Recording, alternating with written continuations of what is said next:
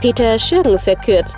Andreas Wöhler spürt den Atem von Peter Schürgen im Trainerchampionat immer stärker. Am Dienstag in Neuss feierte der Asterblüte-Chef zwei Siege und rückt damit auf einen Zähler an Wöhler heran. Am Hessentor gewannen Mankurian und Drummer für Peter Schürgen. Neuer Job für Helfenbein. Aktuell hat Andreas Helfenbein eine Pause eingelegt, doch der Jockey wird im kommenden Jahr wieder angreifen und das bei einem neuen Arbeitgeber. Wie Andreas Helfenbein bekannt gab, wird er ab 2016 bei Besitzertrainer Ferdinand Lewe in Warndorf tätig sein. Alles läuft nach Plan.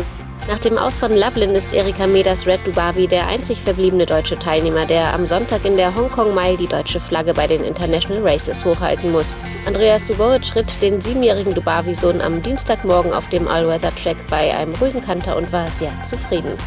Er macht einen sehr stabilen Eindruck. Ich bin sehr froh, dass er sich so gut fühlt. Morgen arbeiten wir ihn, teilte Red Dubabis Mailänder Gruppe 1 Siegreiter mit.